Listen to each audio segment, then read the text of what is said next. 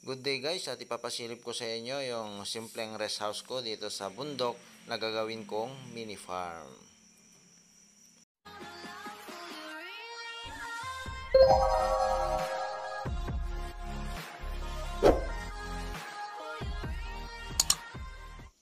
So ayan guys, bumili muna ako ng aircon para dito sa bahay kubo ko dito sa bundok para pagpupunta ako dito at matutulog ay hindi naman mahinit.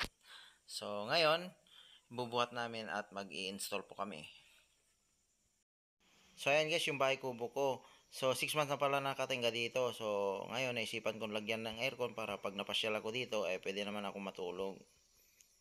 So ayan guys, 1 uh, horsepower lang itong nabili ko. Okay na okay na ito kasi maliit lang naman yung kwarto ko.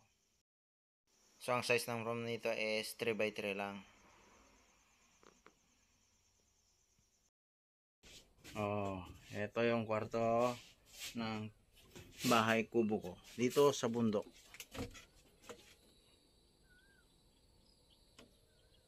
Wow. Tingnan natin sa likod. So, ayan yung itsura guys. Oh. Wow. Bahay kubo. Nalagyan ng aircon. Ayan. Guys, ito na yung aircon namin. Oh, maandar na siya. Napakalamig. Yung aircon na in-install namin sa maliit na kubo sa bahay kubo namin. Ayan, ha. Oh, guys, oh, yan oh, lakas ng tulo, oh. lakas ng aircon. Maliit siya pero maliit din naman yung aming kwarto. So tingnan natin sa loob, guys. Ayan, oh. So buksan natin. Wow, malamig na siya, oh. Hmm. Ito yung kwarto namin. So yan, oh, yung linagay ko na saksakan na yan, temporary lang muna kasi tinesting lang namin tsaka syempre yung mga dito lalagyan namin ng foam para iwas tagas ng mga lamig yan dito yung mga yan so ito yung pinagawa ko dito sa kubo ko is aluminum na siya. Aluminum na yung bintana namin. Sliding.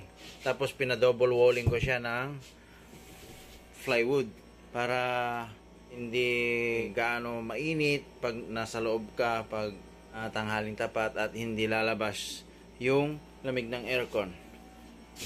Ayan at pina-aluminum ko na rin yung pintuan so yan guys napakalamig po siya. Komportable talaga matulog dito. So yan hindi pa tapos at palalagyan ko pa dito ng bed. So ito guys order ko galing Shopee. Ilalagay ko ngayon dun sa wall ng kwarto ko dito sa bahay kubo. So bubuksan natin. Ang tawag dito is so guys ang tawag dito is linen wall sticker foam. O yan o lalagay natin sa wall kasi di aircon siya para hindi lalabas yung lamig magtatagal yung lamig sa loob At syempre protekta na rin sa init dun sa labas na papasok. So yan guys oh. Ganito ang loob niya. Oh. At ito yung labas. So dito parte yung ididikit natin sa wall. Plywood po siya. So panoorin po natin guys. Magdidikit po ako ngayon. Yan. Yan guys oh may natatanggal na plastic ito madikit siya yung ididikit natin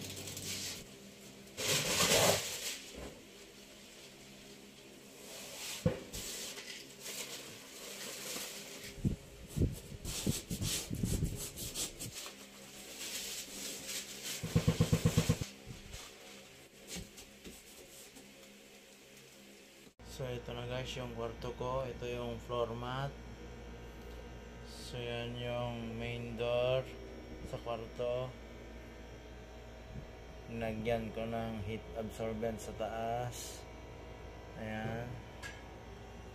Ganon din sa side. Ito. Yung heat absorbent foam.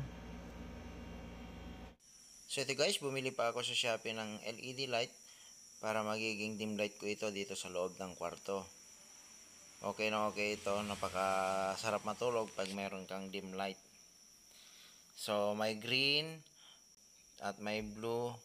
So, paiba-iba po yung kulay, guys. Pero ito yung pinaka gustong gusto kong kulay, guys, oh. Ayan, at meron din yung nagblink.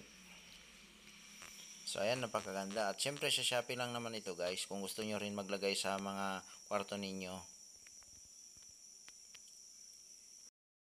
At syempre, nung natapos na namin in-install yung aircon, rene-varnish na namin para magiging ah, good looks naman yung bahay kubo namin at kikinang-kinang.